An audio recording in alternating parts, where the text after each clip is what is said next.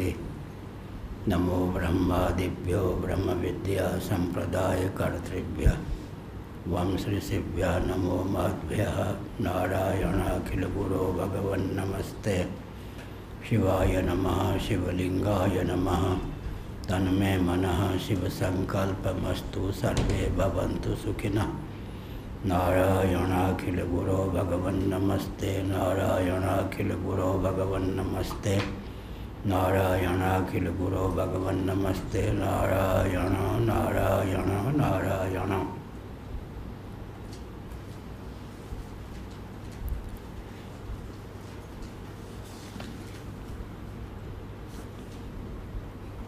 पृष्ठ।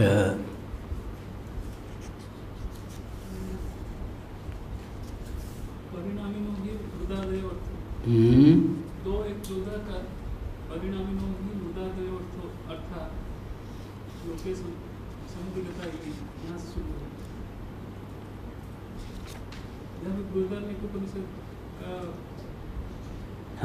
स एस नेति उससे पहले परिणामी अच्छा ठीक। परिणामिनो ही मृदादयोर्था लोके समधिगता इति। इससे पहले की पंक्ति ले लेंगे तब ठीक रहेगा। ननु मृदादि दृष्टांत प्रणयनात् परिणामवद ब्रह्म से अभिमतम इति गम्यते। श्रुति ने मृतपिंड लोह आदि को दृष्टांत रूप से प्रस्तुत किया है। मृदघट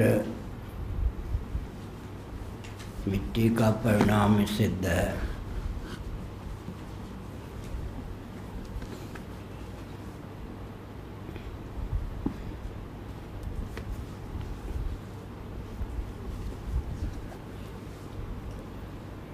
लोह से निर्मित जो पात्र होते हैं, वे लोह के परिणाम ही सिद्ध होते हैं। इससे तो लगता है कि भले ही श्रुतियों ने जगत का उपादान कारण भी ब्रह्म को माना, लेकिन यह जगत ब्रह्म का परिणाम है। पूर्व पक्ष नन मृदादि दृष्टांत प्रणयनात्। परिणाम। वद ब्रह्म शास्त्र सविमतम इति गम्यते। मृदादि दृष्टांत के प्रणयन से।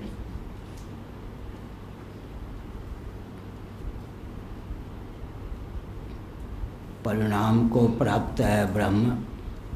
ब्रह्म ही जगत के रूप में परिणत होता है।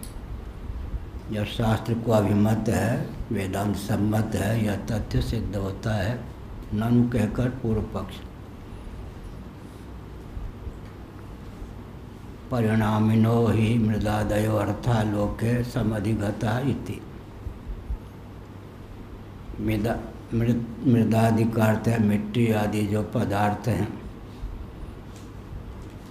वे अपने कार्य के परिणामोपादान होते हैं।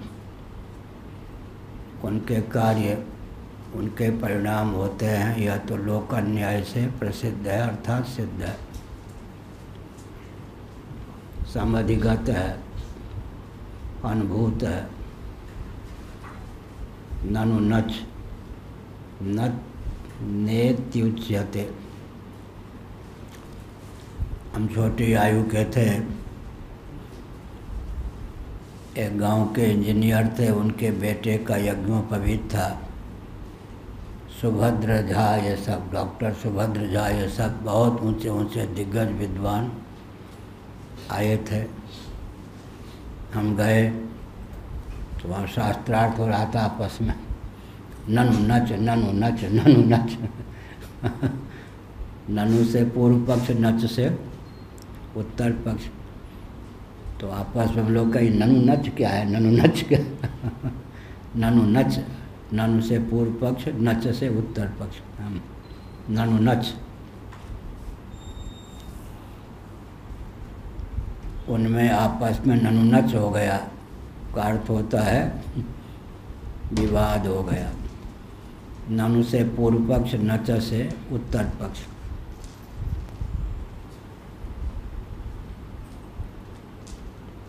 नेत्युच्यते तीन सौ अड़सठ।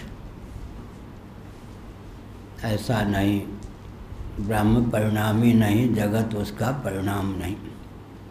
पहले के लोग चाहे घर में रहते चाहे बाग बगीचे में चलते रोड पर भी माने इसी में ही चर्चा सब निकलती होगी व्यतीत होती होगी। वहाँ विवाह में जो बाराती होते हैं ना जाते थे अब कोई रिश्तेदार है पढ़ा लिखा नहीं है तो ले जाना तो आवश्यक है, नहीं तो बिरादरी का प्रश्न है।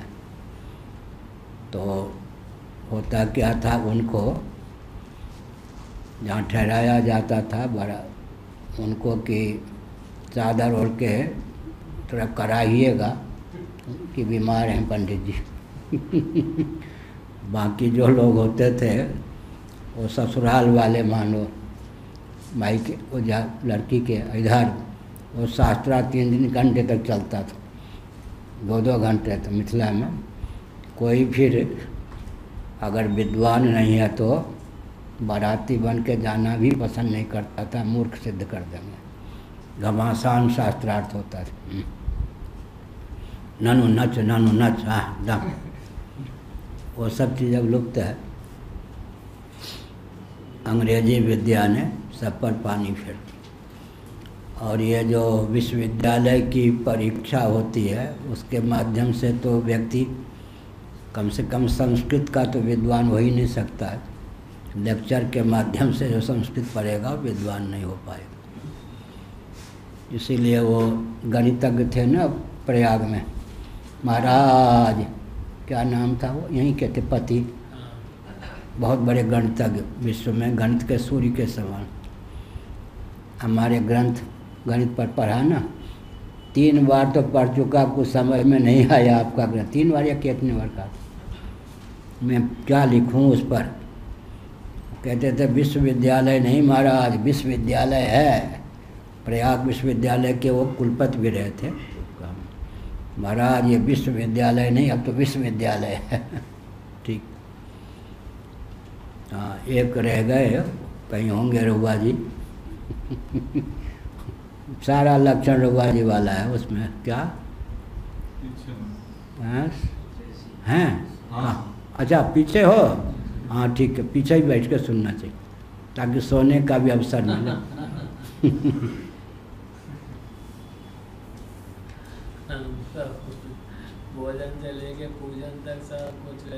ही वही रघुआ जी वाला अवतार ही हैं रघुआ जी के, इनके पितामह के ये अवतार हैं। सवायस महानज आत्मा अजरो मरो मृतो अभयो ब्रह्म। मिट्टी के परिणाम जैसे घटादि हैं, वैसे ही ब्रह्म के परिणाम आकाश आदि हैं, ऐसा नहीं समझना चाहिए। लेकिन पूर्व पक्ष है कि ब्रह्म का परिणाम ही जगत क्यों न माना जाए। परिणाम भी दो प्रकार का होता है। जैसे दूध का परिणाम दही है। फिर दही को दूध का रूप प्रदान नहीं किया जा सकता। अपने स्वरूप को ही विलुप्त कर दे, कार्य के रूप में परिणत होने पर एक प्रकार का परिणाम यह है।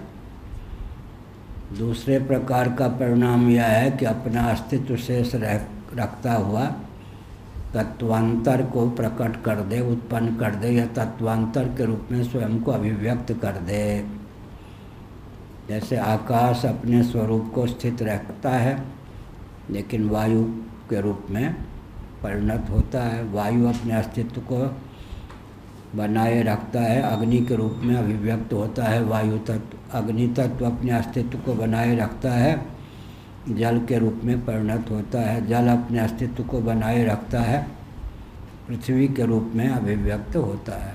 पृथ्वी विशेषता की पराकाष्ठा है। विशेषता का बीज है अव्यक्त, जिसको प्रकृति प्रधान माया कहते हैं। और निर्विशेषता की अवधि है आत्मा। आत्मा की शक्ति का नाम है अव्यक्त, प्रकृति प्रधान माया। यह सरणी है। चरम कारण को निर्विशेषता की अवधि होना ही चाहिए। चरम कार्य को विशेषता की अवधि। ऐसा न मानने पर क्या विसंगति होगी? कार्य कारण भाव निर्धारण करते समय तत्व की संख्या असंख्य हो जाएगी।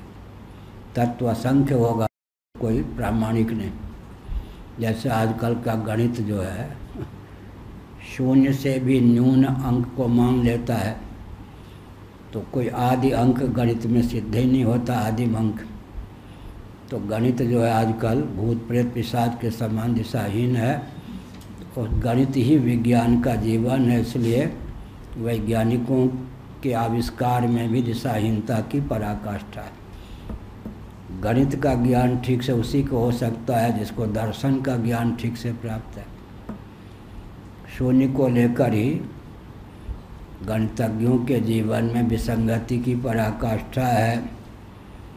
शून्य एक लिखेंगे।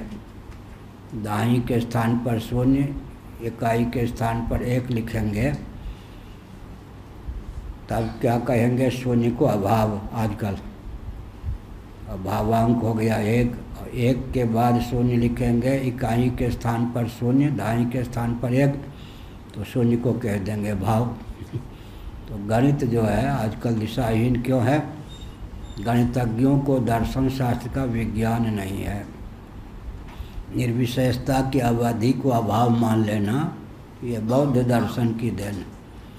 निर्विशेषता की अवधि को अभाव मान लेना। इसीलिए पंचदशी कार ने कर कहा, सन घटा, सन पटा, सन त्यापा भूषण वायु। सत सब का कारण है। लेकिन कारण होकर भी, अनुभव का विषय तब बनता है जब अपने कार्य के समाश्रित हो। सन घट घट है, सन पट पट है, सन त्याप, जल है, बहुवचनांत आप। अस्थिभू पृथ्वी है, सन वायु वायु है। जो कारण होता है अपने अस्तित्व का ख्यापन अपने कार्य के आश्रित होकर करता है। हम्म। सन घटा सन पटा सन त्यापा अस्थिभू सन वायु सत्कारण है। घटादि, आकाशादि कार्य हैं। लेकिन निर्विशेषता की अवधि होने के कारण जो सत्य है वो सविशेष के समाश्रित होकर अपनी अर्थक क्रियाकारिता को प्रस्तुत करता है। सन घटा इसलिए निर्विशेष, सविशेष को उत्पन्न करके फिर अपने अस्तित्व की अनुभूति के लिए सविशेष के समाश्रित होकर के मानव प्रकट होता है। इसी का नाम व्यक्त्यास है। धर्म को धर्मी धर्मी को धर्म। जो धर्मी सत्य है, वो धर्म के समाश्रित होकर परिलक्षित होता है। कौन? सन घटा धर्मी है, सन सत घट है धर्म, लेकिन वो धर्मी धर्म के आश्रित होकर परिलक्षित होता है। भगवान विष्णु ने कहा, महाभारत, बेटा, ब्रह्मा जी को कहा तुम मेरे नाभि कमल से उत्पन्न हुए हो। मैं तुम्हें सृष्टि के संचालन का, संरक्षण का दायित्व प्रदान करता हूँ। लेकिन कहीं कोई कठिनाई हो तो जैसे पिता पुत्र को आदेश देता है, वैसे ही मुझे आदेश देकर काम करवा लेना। ब्रह्मा जी विवेकी थे, आदेश कैसे देते? लेकिन यह व्यवहार संचालन की विधा है। पिता जो है पुत्र को योग्य बना देता है। फिर कहता है या कहते हैं कि बेटा,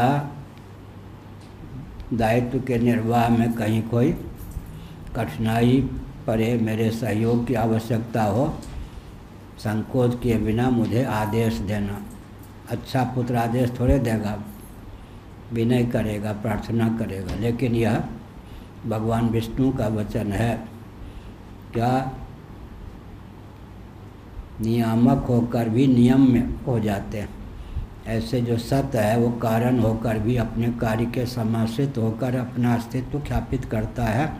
सन घटा, सन पटा, सन त्यापा अस्थिभू ये सब खोल कर हम क्यों बोलते हैं?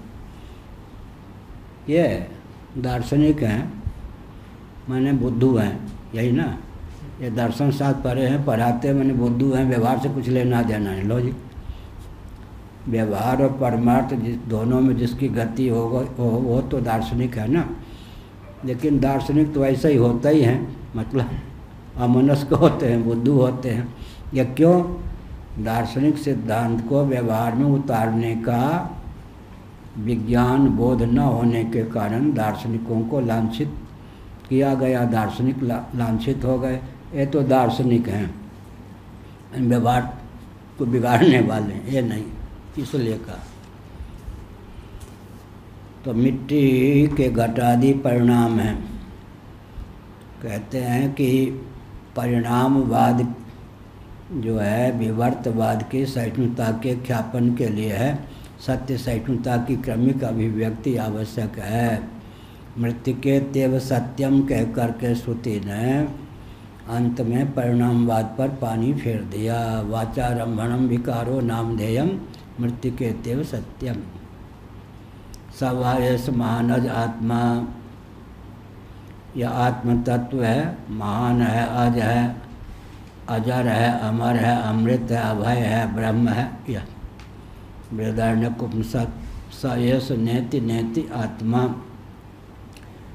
स यश वह यह, न इति न इति। यह भी नहीं, यह भी नहीं, न, यह भी नहीं। जो कुछ कार्य प्रपंच है, सबका प्रतिषेध करके अंत में कारण को ख्यापित किया गया है। स्थूलम अनाणु इत्यादि। न तो स्थूल है, न वह अणु है, अर्थात सूक्ष्मता की आबादी है और विभुता की आबादी है, इत्याद्याभ्य। सर्व विक्रिया प्रतिषेध श्रुत श्रुतिभ्यो ब्रह्मण कूटस्थत्वावगमात। इन श्रुतियों के बल पर सब संपूर्ण विक्रिया विक्रिया माने विकार। विकार माने कार्य। का प्रतिषेध करके श्रुति ब्रह्म की कूटस्थ रूपता का प्रतिपादन करती है, इन श्रुतियों के अनुशीलन से ब्रह्म कूटस्थ निर्विकार समझा जाता है। अतएव कूटस्थ माने कूटवत स्थित सर्वथा निर्विकार। कूटस्थ का अर्थ होता है निर्विकार। यह। अब इन श्रुतियों में तो कूटस्थ शब्द का प्रयोग नहीं है, लेकिन अजर, अमर, अमृत, अभय, इन शब्दों का विश्लेषण करें तब कूटस्थ भाव की प्राप्ति होती है।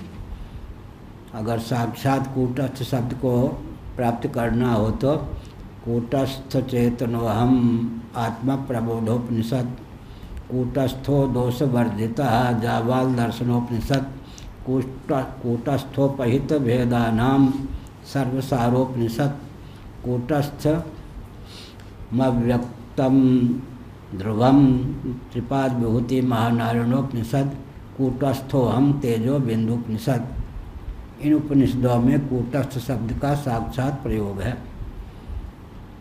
लोहार के पास कूटस्थ कूट, जिस पर जेवर आदि बनाता है, लेकिन जिस पर कोई प्रभाव नहीं पड़ता। चित्रकूट में भी कूट है कूट का अर्थ राशि है कूट का अर्थ तटस्थ है। चित्रकूट, कूट का नाम राशि अन्नकूट चित्रकूट क्या कूट का नाम राशि, कूट का नाम जो है, क्या हुआ? अविकृत, स्थिर। वो ऐसा करके लोहे पर जेवर आदि बनाता है। लेकिन वो ज्यों के त्यों इसी प्रकार कूटस्थ माने निर्विकार। कूट का अर्थ होता है प्रसंगानुसार समूह।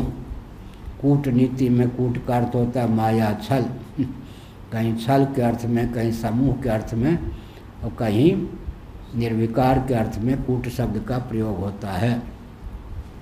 आप कूटनीति जानते हो? नहीं तो ठीक। कूटनीति। नीति के कितने भेद हैं? नीति साम दान दंड भेद इंद्रजाल उपेक्षा माया ये बताएँगे राजाधिराज नीति के कितने भेद हाँ देखो। साम दाम दंड भेद इंद्रजाल माया उपेक्षा। हाँ ये बात। आप किस नीति में विशेषज्ञ हो? सब में? फिर भी बैठो। साम दान दंड भेद उपेक्षा इंद्रजाल माया। साम दान दंड भेद चार की प्रसिद्धि है, मत्स्य पुराण में और भी हैं। उपेक्षा इंद्रजाल और माया। राजा को इन सातों में निपुण होना चाहिए, नहीं तो राज्य नहीं करेगा। साम दान दंड भेद, उपेक्षा इंद्रजाल, माया। महाभारत में लिखा है, शांति पर में राजा को प्रमाण वेदता होना चाहिए। प्रत्यक्ष अनुमान, आगम, अर्थापत्ति अर्थापत्ति आदि प्रमाणों में अबाध गति होनी चाहिए। जो राजा प्रमाण वेदता नहीं है और साम, दान, दंड, भेद इंद्रजाल उपेक्षा, माया, इन नीतियों में कुशल न अचार खाएगा। बुरा न मानो होली है। नेहरू जी से लेकर मोदी जी तक कोई भारत को ऐसे प्रधानमंत्री नहीं मिले जो चीन की कूटनीति को समझकर पछाड़ सकें। चीन से सबको मौत ही खाना पड़ा। ये तो देश के लिए बहुत हितकर है ना। चीन की कूटनीति को विफल करने की क्षमता वाले कोई प्रधानमंत्री नहीं हुए लाल बहादुर शास्त्री जी बहुत अच्छे थे। ताशकंद वार्ता में घुटना टेक कर अपना शरीर भी खो दिया, देश को भी विजय का पर्यवसान पराजय में करा दिया। तो राजनेता जो होना चाहिए, प्रधानमंत्री आदि, नीति शास्त्र का विशेषज्ञ होना चाहिए। साम, दान, दंड, भेद, इंद्रजाल, उपेक्षा, माया हम्म। सबसे ऊँची कूटनीति क्या है? साम नीति का ऐसा प्रयोग करे कि पात्र भेद से वो दान, दंड, भेद, इंद्रजाल, उपेक्षा, माया का रूप स्वतः धारण कर ले, क्या? हम लोग साम नीति का ही प्रयोग करते हैं। लेकिन उस विधा से करते हैं कि पात्र भेद से वह दान, दंड, भेद, इंद्रजाल, उपेक्षा, माया के रूप में स्वयं परिणत हो जाए। उदाहरण, स्वाति नक्षत्र का जो जलबिंदु है, वो अभिव्यंजक संस्थान के योग से विविध रूपों में परिणत हो जाता है। कहीं मोती, कहीं मुक्ताकार, कहीं हलाहल भी बन जाता है। ऐसे। तो साम नीति का ऐसा प्रयोग जो अवसर आने पर पात्र भेद से दान, दंड, भेद, इंद्रजाल, उपेक्षा, माया का भी रूप धारण कर ले। ऐसा नीति के मिलना कठिन चाणक्य आदि थे तभी शासन कर पाते थे कौन? चंद्रगुप्त आदि। क्या कहा? इनको मालूम है। यह नीति की बहुत बढ़िया। क्या कहा?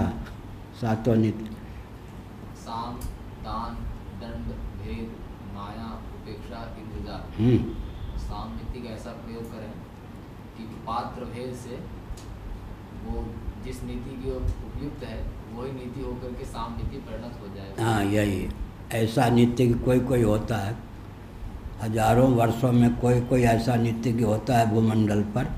देवता पितर आदि तो अदृश्य हैं।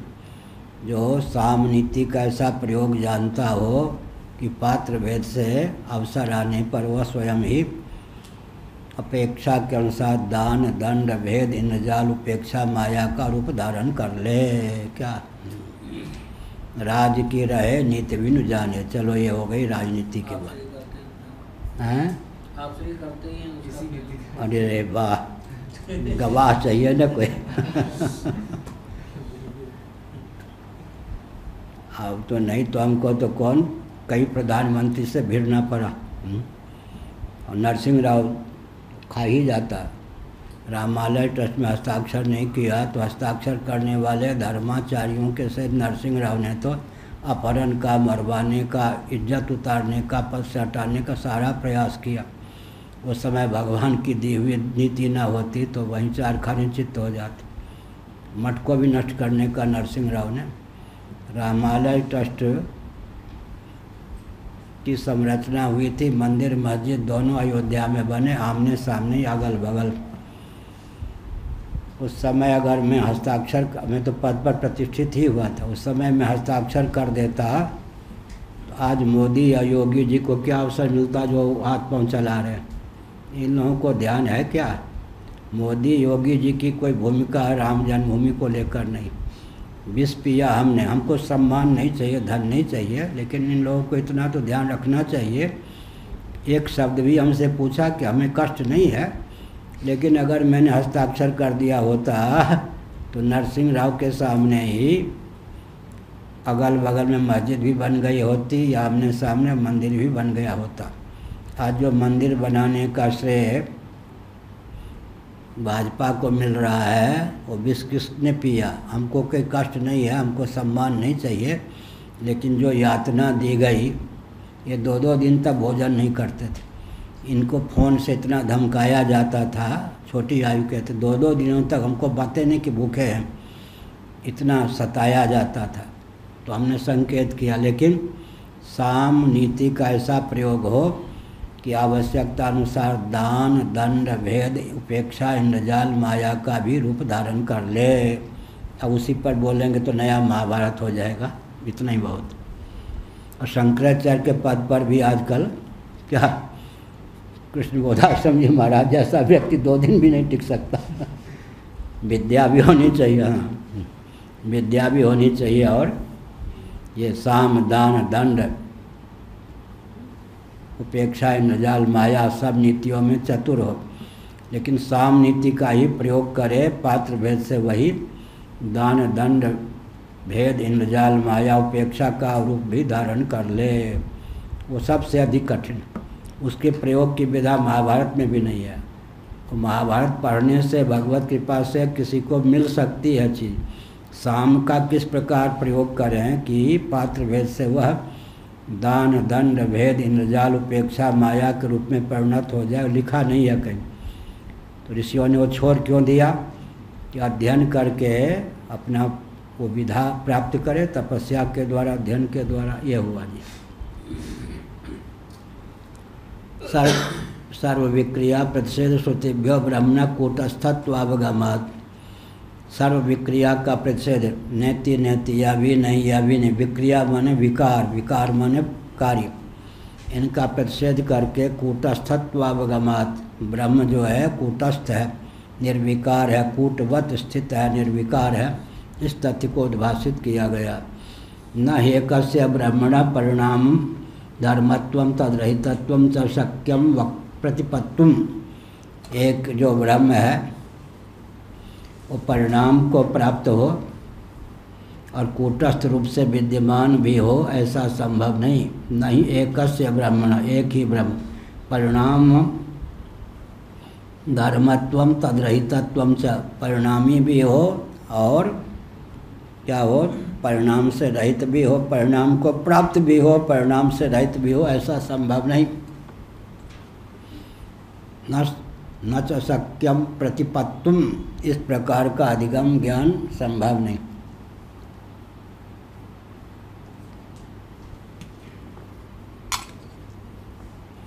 ये जो सांख्यों का परिणामवाद है, ये विवर्त गर्भित परिणामवाद है, क्या? विवर्त गर्भित परिणाम। विवर्तवाद की सहिष्णुता में सांख्यों का विनियोग और उपयोग है। कोई भी कारण, कार्य रूप से परिणत होकर भी अपने अस्तित्व को पूर्वत बनाए रखे। यही ना सांख्य का सिद्धांत हुआ। अव्यक्त त्रिगुण रूप में विद्यमान रहता हुआ ही महत्व को उत्पन्न करने में समर्थ है। महत महत के रूप में विद्यमान रहता हुआ ही अहम के रूप में अभिव्यक्त होने में या अहम को उत्पन्न करने में समर्थ है। अहम अहम के रूप में स्थित रहता हुआ ही आकाश को उत्पन्न करने में या आकाश के रूप में समुत्पन्न होने में समर्थ है। आकाश आकाश रूप से स्थित रहता हुआ ही वायु के रूप में परिणत होता है, माने वायु को उत्पन्न करने में समर्थ है। ऐसे ही वायु तत्व वायु के रूप में यथावत स्थित रहकर ही अग्नि के रूप में परिणत होता है। ऐसे ही अग्नि तत्व अग्नि के रूप में अपने अस्तित्व को यथावत बनाए रखकर ही जल के रूप में परिणत होता है। जल भी अपने स्वरूप को यथावत सुरक्षित रखकर ही पृथ्वी के रूप में अभिव्यक्त होता है। हम्म। फिर पृथ्वी क्या है? यहीं तक तत्वांतर परिणाम है। अंतिम कार्य पृथ्वी क्यों है? अपने से अधिक विशेषता वाली किसी वस्तु को उत्पन्न करने में समर्थ नहीं है। यह जो समर्थ असमर्थता है या गुण है। नहीं तो फिर अनंत कार्य हो जाए, तत्व की गणना ही न कोई कर सके। तो हमने बताया है ना कि गणित में जैसे शून्य से भी न्यून संख्या को मान करके गणित को बे बिल्कुल दिशाहीन कर दिया। शून्य से न्यून अंक कोई हो ही नहीं सकता। है तब तो आदिम अंक का ज्ञान ही नहीं होगा। वो ग्रंथ चौ अभी तुमको एक बार प्रूफ देखने का समय नहीं है। चौमासे के बाद में छपना चाहिए, जो शून्य पर ही लगभग चौदह सौ इकतालीस पृष्ठों का ग्रंथ है, गणित पर। वो छपे वैदिक मैथमेटिक्स के पद, के पच्चीस पृष्ठों की व्याख्या चौदह सौ बयालीस पृष्ठों में है, कंप्यूटर में बंद। वो छपे। शून्य से भी न्यून अंक कोई होगा तो अट्ठाईस दोष की उद्भावना उसमें की गई। अट्ठाईस दोष। शून्य से भी कोई न्यून अंक मानेंगे तो, तो गणित का भगवत कृपा से अद्भुत ग्रंथ होगा। है कंप्यूटर में अब उसको छपने की आवश्यकता है। नहीं एक ब्रह्मण परिणाम धर्मत्व तदरहितत्व च प्रतिपत्व जो एक ही ब्रह्म है एक ब्रह्म। वही वो कहते हैं ना सकल विरुद्ध धर्माश्रय। श्री वल्लभ संप्रदाय में क्या शब्द चलता है? सकल विरुद्ध धर्माश्रय। कहाँ से लिया? कठोपनिषद शंकर भाष्य मूल वचन जो है, कठोपनिषद शंकर भाष्य में है। उसी को वल्लभाचार्य ने लिया। अब शंकराचार्य को पढ़ते नहीं वल्लभ संप्रदाय वाले। तो क्या कहते हैं? वल्लभाचार्य की यह अद्भुत सूझबूझ। सकल विरुद्ध धर्माश्रय ब्रह्म को मानते हैं। वो तो शंकराचार्य की देन है। कठोपनिषद के शंकर भाष्य में ब्रह्म को सकल विरुद्ध धर्माश्रय सिद्ध किया है शंकराचार्य ने, वही जो के त्यों वल्लभाचार्य महाभाग ने लिया, लेकिन भगवान शंकराचार्य से लिया, नाम नहीं बताया। नाम न बताने के कारण प्रसिद्धि हो गई वल्लभ समुदाय में, अद्भुत सूझबूझ वल्लभाचार्य महाभाग के सकल विरुद्ध धर्माश्रय ब्रह्म है। वचन किनका है? शंकराचार्य का कहाँ लिखा है? कठोपनिषद, शंकर वास्य में तो ब्रह्म परिणामी नहीं है। विवर्तवाद की सहिष्णुता के लिए प्रारंभ में ब्रह्म को मानव परिणामी के रूप में प्रस्तुत किया जाता है। मिट्टी इत्यादि का दृष्टांत दिया जाता है। एकाएक अगर रज्जु सर्पादि का दृष्टांत दिया जाए तो व्यक्ति का धैर्य टूट जाएगा। आज ही कहा था ना पाठ में कि जो चरम सत्य है उसको बोल दें तो एक तो सामने वाले को हार्ट अटैक हो जाएगा अगर वो समझने का प्रयास करे। या सामने वाले की बुद्धि होगी कहने वाला पागल है। दो में से कुछ होगा एक ज़रूर क्या?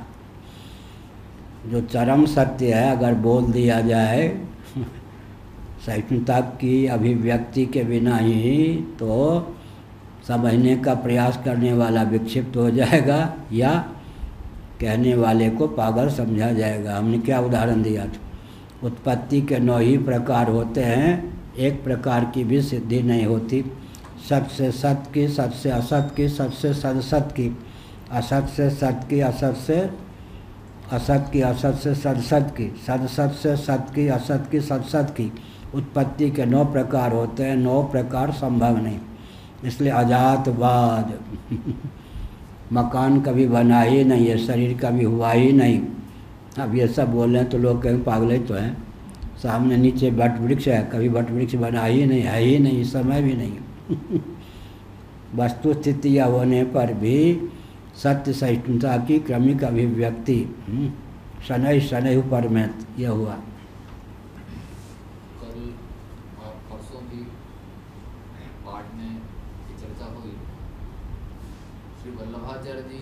स्वास्थ्य ठीक है ना? हाँ। बहुत कमज़ोर दिख रहे हैं। तो हाँ वो इस पर ध्यान नहीं गया। त्रिपर्ण होता तो दूर मोटे दिखते हाँ। तभी तो लग रहा बड़े दुर्बल हाँ वो शुद्धाद्वैत में तो लक्ष्यार्थ कोटि का आत्म तत्व भी विचार होगा ही शुद्धाद्वैत में तुम पोल पट्टी खुलवावे। चोखो रहेगा कि पोल पट्टी ना खुले। ब्रजभाषा। वल्लभाचार्य जी ने बहुत ही, वल्लभाचार्य जी की बात पहले ये समझ लेनी चाहिए। बहुत आदर्श आचार्य हैं। पुरुषोत्तम विष्णु श्रीमन नारायण का नाम न लें। तो वल्लभाचार्य जी ने जो सिद्धांत प्रस्थापित किया वो कश्मीरी वेदांतियों का है अपना कुछ नहीं। अब जिनको प्रतिविज्ञा दर्शन ये सब तैयार नहीं है अभिनव गुप्तपाद ये सब हुए हैं कश्मीरी वेदांती उनके सिद्धांत का स्पंद तत्व स्पंद तत्व स्वामी अखंडानंद जी महाराज उसको बहुत मानते थे ग्रंथ को स्पंद तत्व। स्पंद तत्व हमारे पास है भी कहीं? हम्म। तो श्री वल्लभाचार्य जी ने पुरुषोत्तम, विष्णु, श्रीमन नारायण आदि शब्दों का प्रयोग कर दिया। मूलतः वो कश्मीरी शैवों का दर्शन है। क्या मतलब? माया को स्वीकार किए बिना ब्रह्म का परिणाम जगत है। यही हुआ। माया को स्वीकार कर लेंगे तो जगत का मिथ्यात्व सिद्ध होगा। ब्रह्म का परिणाम होने पर भी जगत सत्य है। बीच में माया को मत स्वीकार करें। यही क्या हुआ? हम्म, ब्रह्म ही जगत के रूप में स्पंदित होता है स्पंद तत्व। ब्रह्म ही जगत के रूप में स्पंदित होता है। तब उसमें फिर युक्ति क्या दी जाएगी? ब्रह्म और जगत इसके बीच में माया शक्ति को अनिर्वचनीय माया शक्ति को आप स्वीकार नहीं करेंगे तो ब्रह्म जगत के रूप में जो व्यक्त होगा, उसमें निमित्त कौन बनेगा ये तो बताइए। मिट्टी जो है घट के रूप में परिणत होगी तो बीच में कुछ स्निग्धता नाम की शक्ति चाहिए या नहीं? उत्पत्ति, स्थिति, समृद्धि की गाथा, चरितार्थ हो, इसके लिए ब्रह्म और जगत के बीच में कोई चीज़ है या नहीं? तो कहते हैं, भगवदीय स्वात्म वैभव। भगवदीय शब्द जो है, पाणिनीय व्याकरण के अनुसार नहीं बनता है, सारस्वत व्याकरण के अनुसार बनता है। भगवदीय शब्द का जो प्रयोग है, वो पाणिनीय व्याकरण के अनुसार नहीं, सारस्वत व्याकरण के अनुसार बनता है। भगवदीय स्वात्म वैभव, ठीक है। तब प्रश्न होता है, जो भगवदीय स्वात्म वैभव है, या आत्म वैभव है, वो अगर भगवान के समान ही कूटस्थ है तो विशुद्ध अद्वैत क्या, अद्वैत का दान कर देगा। और अगर बंध्या पुत्र के समान है तो कार्यक्षम नहीं होगा। इसलिए बंध्यापत पुत्र से भी विलक्षण और ब्रह्म से भी विलक्षण अंत में वही लक्षण चरितार्थ हो गया। माया का, आपने माया का नाम न लेकर एक रोचक शब्द रखा भगवदीय स्वात्म वैभव। लेकिन अगर वो भगवान के समान ही है तो द्वैत का आधान भी हो गया और जगत की निष्पत्ति का मार्ग भी अवरुद्ध हो गया। इसलिए उसे वंध्या पुत्रादि अलिक पदार्थों से विलक्षण और ब्रह्म से विलक्षण मानना पड़ेगा। अंत में अनिर्वचनीय खाते में जाके बैठ जाएगा। इसलिए यह कहीं खंडन न करे, विवाद, लेकिन कोई वार करे तो फिर अपना मुँह खोले। क्या? इसलिए हम लोग कहीं सामंजस्य स्थापित करते हैं, पर कोई अगर आ बैल तो मुझे मार तो फिर अंदर का भाव भी प्रकट कर देते हैं। बुरा न मानो, होली या सब का आदर करते क्यों? सत्य, सहिष्णुता की कर्मिक अभिव्यक्ति। यह कहा तो मिट्टी का उदाहरण दिया, लेकिन मृत्यु के तेव सत्यम भी तो श्रुति ने कहा। इसका मतलब परिणामवाद का उदाहरण देने पर भी मिट्टी को ले गए विवर्तवाद के स्थान पर। मिट्टी का विवर्त जो है, घटाधिकारी है मृतिके तेव सत्यम कहकर जो परिणामी मृतिका है, उसको विवर्तोपादान के रूप में परिणत करने के लिए श्रुति ने क्या कह दिया? मृतिके तेव सत्यम न ही एक भ्रमण परिणाम। धर्मत्व तद्रहितत्व च शक्यम प्रतिपत्व स्थितिगतिवत। सैत चेत। स्थितिगतिवत। स्थिति के समान, गति के समान, क्या? दो न हो एक संग भूयाला सब ठठाऊ फुलायु गाला। के कई ने ताना करते हुए महाराजा धीराज दशरथ को क्या कहा? राजन, एक कालावत छः दिन कोई मुँह फुला कर रहे और ठहाका मार के हंसे, संभव है? कर सकते हो क्या? क्यों? एक कालावत छः दिन मैंने, एक समय गाल फुला के रहे और ठाका मार के हंसे। ठाका मार के हंसेगा तो गाल फुला के नहीं रहेगा। गाल फुला के रहेगा तो ठाका मार के हंसेगा नहीं। ऐसे ही है कहा, कूटस्थ भी हो, परिणामी भी हो, कैसा हो सकता है? नहीं एक ब्रह्मण परिणाम धर्मत्व तद्रहितत्व च सक्यम प्रतिपत्व स्थिति गतिवत स्थिति है तो गति नहीं, गति है तो स्थिति नहीं। न कूटस्थस्य इति विशेषणात्। कहते कूटस्थ। कूटस्थ इस विशेषण के बल पर यह सिद्ध होता है कि स्थूलम अनणु, ये सब आत्मा, अजरो, अमरो, अमृतो, अभय, अभयो, ब्रह्मा, ये सब स यश, नेत, नेत्य, आत्मा। कूटस्थ विशेषण होने से यह सिद्ध होता है कि ब्रह्म निर्विकार ही है। नहीं कूटस्थ ब्राह्मण स्थिति गतिवत अनेक धर्माश्रयत्व संभवती कूटस्थम च नित्यम ब्रह्म सर्वविक्रिया प्रतिषेधात इत्यवोचाम। सकल विक्रिया मन विकार का क्रमशः। उत्तरोत्तर प्रतिषेध निषेध कर देने पर जो शेष रहता है अशेष विशेषातीत हम्म, सर्वोपप्लव रहित वही ब्रह्म है यह हम कह चुके हैं। न च यथा ब्रह्मण आत्मैकत्व दर्शन मोक्ष साधनम एवं जगदाकार परिणामित्व दर्शनमपि स्वतंत्रमेव कस्मचित फलाय अभिप्रेयते। बहुत बढ़िया है। आगे का फलवत सन्निधव अफलम तदंगम तीन सौ उनसठ पेज में, उनहत्तर पेज में। यह याद रखनी चाहिए पंक्ति क्या? फलवत सन्निधाव अफलम तदंगम फलवत सन्निधव अफलम तदंगम फलवत सन्निधा व फलम तदंगम बहुत बढ़िया भाव है। ब्रह्म विज्ञान का फल तो बताया गया है, लेकिन जगत विज्ञान का स्वतंत्र फल कहीं श्रुत नहीं है क्या? सृष्टि के विज्ञान से अमुक फल की प्राप्ति होती है, नहीं लिखा गया। ब्रह्म विज्ञान का फल मोक्ष बताया गया। अफल है कौन? सृष्टि विज्ञान। और सफल कौन है? ब्रह्म विज्ञान। इसलिए स्वतंत्र रूप से सृष्टि के जानने का कोई फल नहीं है। ब्रह्म विज्ञान का फल है, सृष्टि विज्ञान का कोई फल नहीं है।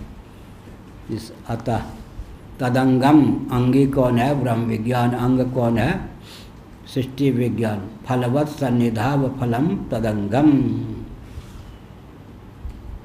इसमें मीमांसा के अनुसार उदाहरण दिया जाता है। आगे हम कहेंगे, दर्श पूर्णमासाभ्याम स्वर्ग कामो यजेता। दर्श अमावस्या से संबद्ध पूर्ण, पौर्णमास पूर्णिमा से संबद्ध याग विशेष होते हैं। दर्श और पूर्णिमास इन दोनों के द्वारा स्वर्ग कामो यजेता, जो स्वर्ग काम हो, उसे याग करना चाहिए। यहाँ पर जो पंच प्रयाज का वर्णन है, उनका कोई स्वतंत्र फल नहीं दिया गया। इसलिए जिसका स्वतंत्र फल होता है, वो अंगी होता है। जिसका कोई फल न कहा गया हो, वो अंग हो जाता है। ये अभिप्राय।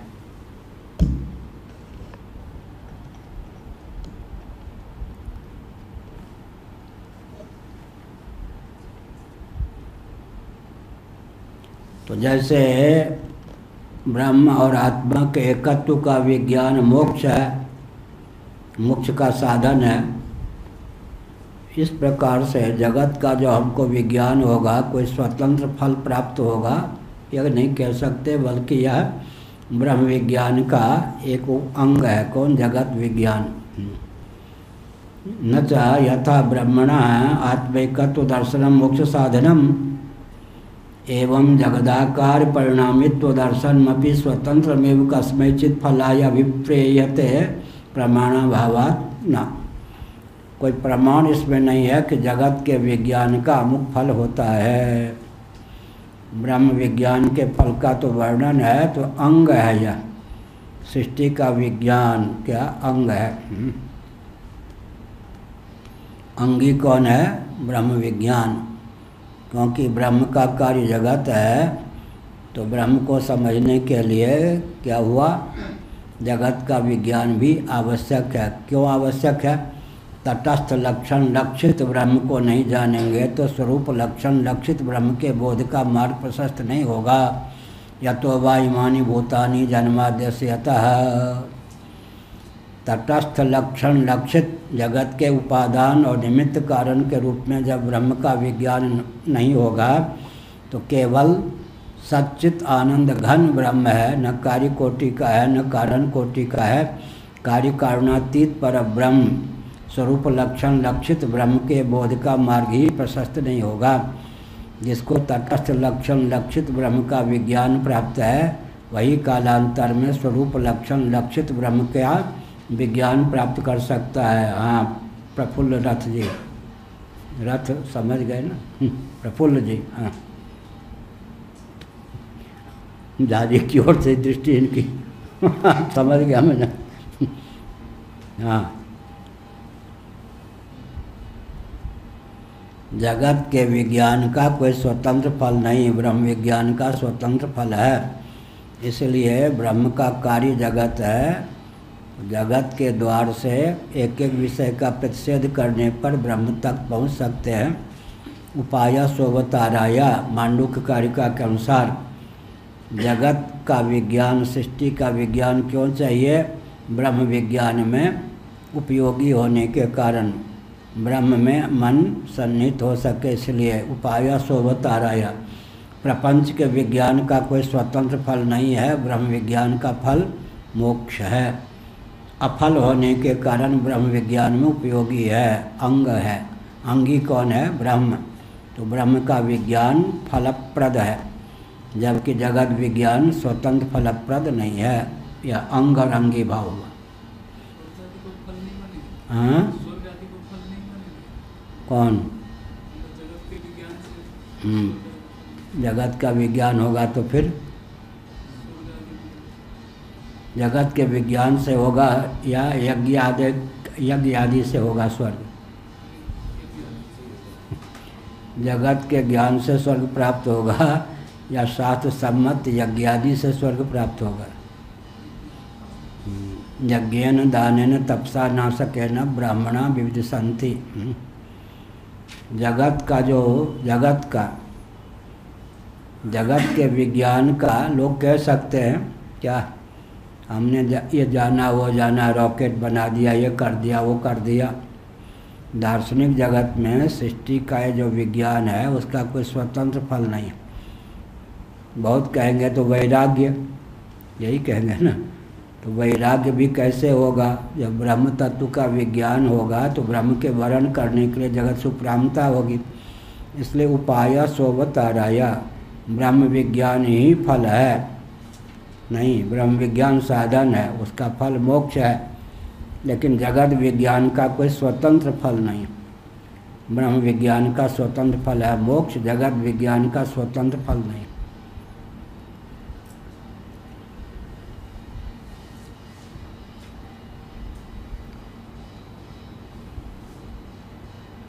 कूटस्थम च नित्यम ब्रह्म सर्व विक्रिया प्रतिषेधात इत्यवोचाम। ये जो आपने भोग आदि कहा ना ये तो चार वाक्यों को भी मान्य है क्या? हम्म, वो भी जगत कोटि प्रविष्ट ही है। वो भी जगत कोटि प्रविष्ट ही है। न च यथा ब्रह्मण आत्मैकत्व दर्शन मोक्ष साधनम एवं जगदाकार दर्शनमपि स्वतंत्रमेव कस्मचित फलाय अभिप्रेयते। जैसे ब्रह्म और आत्मा के एकत्व दर्शन का फल मोक्ष है, उस प्रकार जगदाकार जगत के रूप में जो परिणत, परिलक्षित ब्रह्म है, उसका विज्ञान हो भी जाए तो स्वतंत्र फल उससे प्राप्त नहीं है शास्त्रों में, क्योंकि प्रमाणाभावात इसमें कोई प्रमाण नहीं है। कूटस्थ ब्रह्मात्मत्व विज्ञानादेव ही फलम दर्शयति शास्त्रम। कूटस्थ जो ब्रह्म है उसके विज्ञान से ही फल की प्राप्ति है। इस तथ्य को शास्त्र उद्भाषित करता है। स एस नेति नेत्यात्मा। नेति नेति कहकर तो प्रतिषेध में ही तो चला गया ना जगत। न इति न इति। कार्य कारण का प्रतिषेध कर दिया। इति उपक्रम्य। ऐसा उपक्रम करके अभयम वही जनक प्राप्त हो सी बृहदारण्यक। हे जनक तुम अभय पद को प्राप्त हो। साधन के दृष्टि से तीन शब्दों में कर्मकांड उपासना कांड ज्ञान कांड को गुम्फित गुम्फित करना हो तो क्या कहेंगे? अभयम और उसके फल को भी। ज्ञान, कर्मकांड उपासना कांड ज्ञान कांड और उसके परम फल को अगर तीन शब्दों में गुम्फित करना हो तो क्या कहेंगे? गीता का सोलहवा अध्याय। अभयम सत्व संशुद्धि ज्ञान योग व्यवस्थिति। पूरा हो गया। अभयम यहाँ पर आया, अभय पद को प्राप्त हो जनक यह। अभयम वही जनक प्राप्तोसी जनक प्राप्तोसी अभयम ये फल है। सत्व संशुद्धि सत्व शुद्धि सत्व संशुद्धि। ये क्या है? कर्मयोग उपासना योग का फल है। कर्मयोग से अंतकरण की शुद्धि, उपासना योग से अंतकरण की संशुद्धि। कर्माणि चित्त शुद्ध्यर्थम ऐकाग्र्यार्थ उपासना ऋत ज्ञानान्न मुक्ति ज्ञानादेव तो कैवल्यम कायेन मनसा बुद्धिया केवल इंद्रियरपि योगिना कर्म कुरंती संगम त्यक्वात्म शुद्धय यह योग महात्म विशुद्धय पांचवा अध्याय गीता, छठा अध्याय गीता। इसका अर्थ क्या हुआ? अंतकरण, अभयम। ज्ञान का फल क्या है? अभयम। सत्व संशुद्धि कर्मयोग उपासना योग का फल है। सत्व शुद्धि, सत्व माने अंतकरण। सत्व शुद्धि, सत्व संशुद्धि। और ज्ञान योगा व्यवस्थिति। ज्ञान योग में व्यवस्थिति होगी तो फल हो जाएगा अभय। ज्ञान योग का फल हो गया अभय कर्मयोग का फल हो गया सत्व शुद्धि, उपासना का फल हो गया सत्व संशुद्धि। अभयम सत्व संशुद्धि ज्ञान योग व्यवस्थिति ही।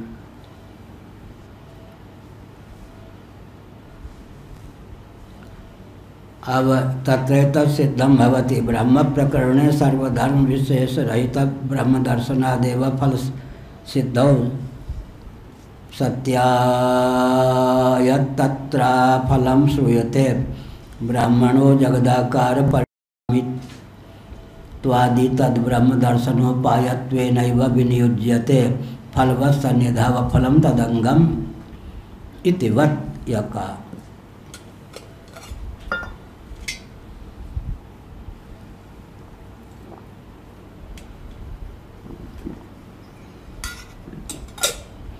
ब्रह्म का जहाँ प्रकरण प्राप्त है, निरूपण प्राप्त है उपनिषदों में,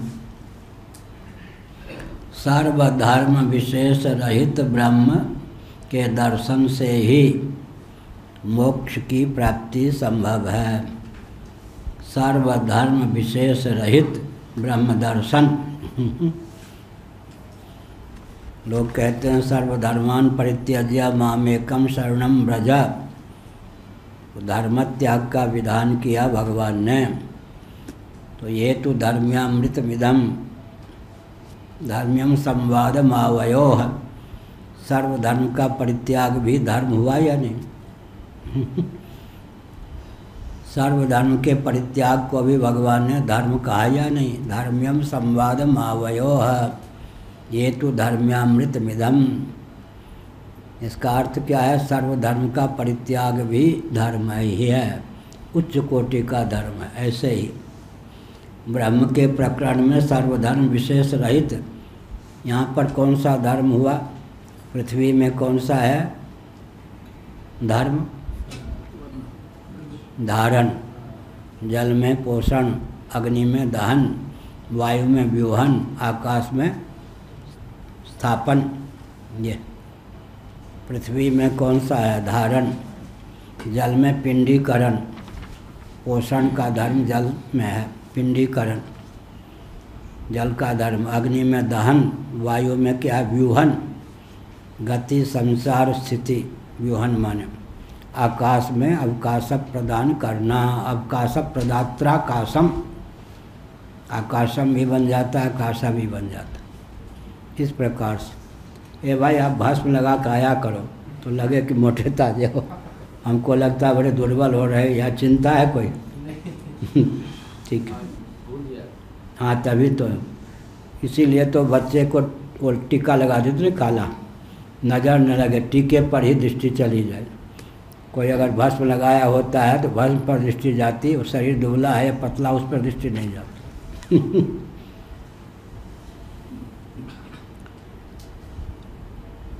तदेत सिद्धम भवती ब्रह्म प्रकरण सर्वधर्म विशेष रहित ब्रह्म दर्शनादेव सर्वधर्म विशेष रहित निर्विशेषता की अवधि। हम्म, जगत क्या है?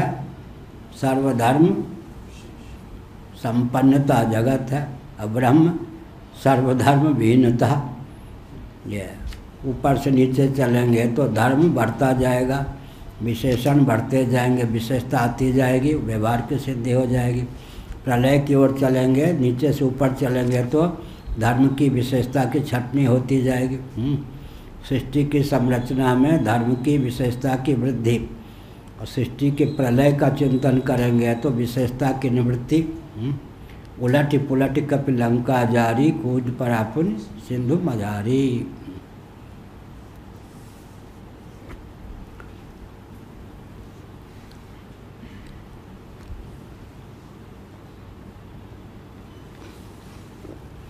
फलवत् निधाव फलम तदंगम।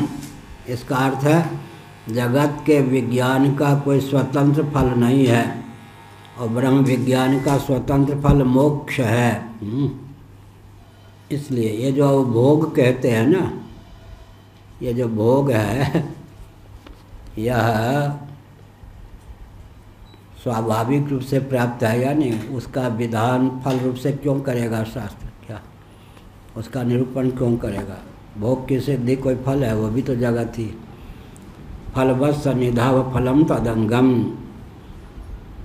फल युक्त के सानिध्य में जिसके फल का कोई वर्णन न हो, अंग हो जाता है और फल जिसके फल का वर्णन हो, अंगी हो जाता है।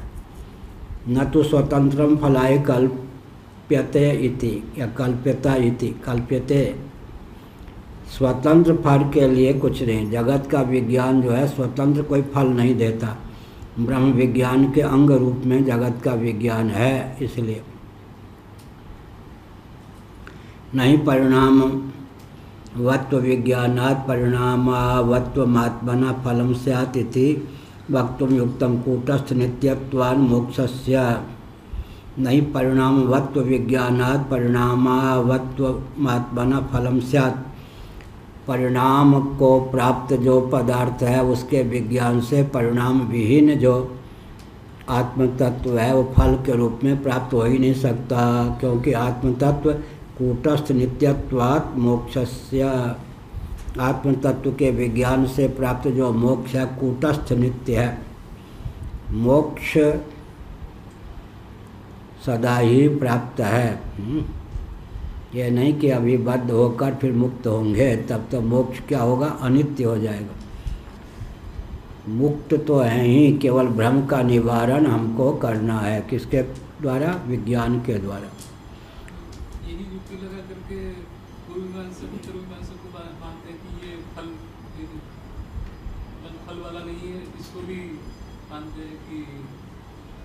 मतलब ब्रह्म विज्ञान का कोई फल नहीं करके पूर्व मीमांसा को मानते हैं। हाँ। क्या क्या हाँ, क्या हाँ, ये कहिए पूर्व मीमांसा क्या कहते हैं? क्योंकि ये ब्रह्म विज्ञान का कोई फल नहीं है। इसलिए इसके साथ इसके अंगी होकर के मतलब पूर्व मीमांसा का अंग रूप में इसका फल है। नहीं तो अन्यथा स्वतंत्र फल नहीं है। यही युक्ति लगा करके करते हैं। मीमांसक जो है पहले ईश्वर को मानते हैं क्या?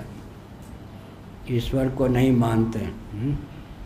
पूर्व मीमांसा और सांख्यवादी भी ईश्वर को नहीं मानते, नैयायिक मानते हैं, वैशेषिक मानते हैं, वेदांती ईश्वर को मानते हैं, सांख्यवादी नहीं मानते, योगी से पुरुष विशेष के रूप में ईश्वर को स्वीकार करते हैं। न्याय एक, वैशेषिक दो शेश्वर सांख्यवाद माने योग तीन, वेदांत चार। चार हो गए ईश्वरवादी, दो कौन कौन हो गए सांख्य और पूर्ण मीमांसा ये दो हो गए अनिश्वरवादी, ठीक। फिर अब पूर्व मीमांसक में और सांख्य में क्या अंतर होगा? न कदाचित अनिदृशम जगत पूर्व मीमांसा के अनुसार। कभी ऐसा नहीं था कि जगत ऐसा नहीं था। अगर वो सृष्टि की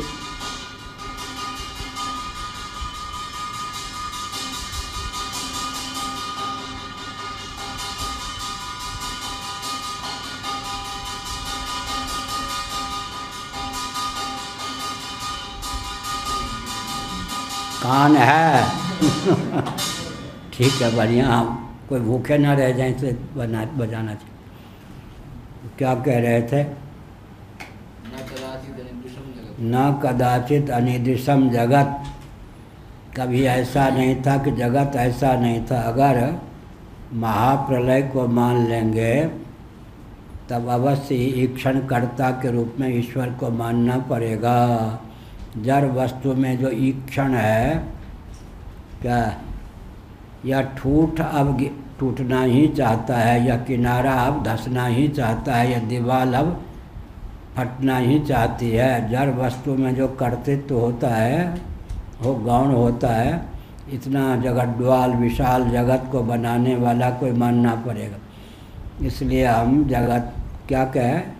प्रलय को मानते ही नहीं, खंडा प्रलय मानते हम माने पूर्व मीमांसकों का यह पक्ष।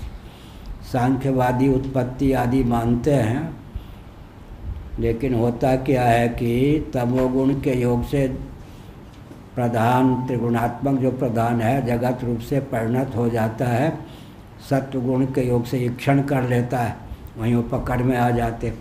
सत्वगुण तो जड़ है ना। रजोगुण क्या करता है? दोनों का पोदबलक बन जाता है। सत्वगुण के योग से ईक्षण तमोगुण के ओर से परिणाम सत्व ईक्षण करता है। तो धीरे से वेदांत की ओर धकेल देता है सांख्य।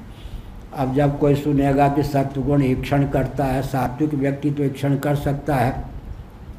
सत्वगुण के योग से कोई ईक्षण कर सकता है। सत्वगुण अगर ईक्षण करता है तो कल्पना करके आपने सत्वगुण को चेतन ही सिद्ध कर दिया, गुण कहाँ रहा?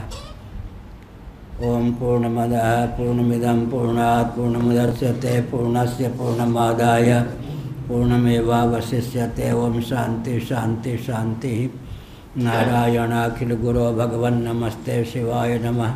शिवलिंगाय नमः। तन्मय मन शिव संकल्प मस्त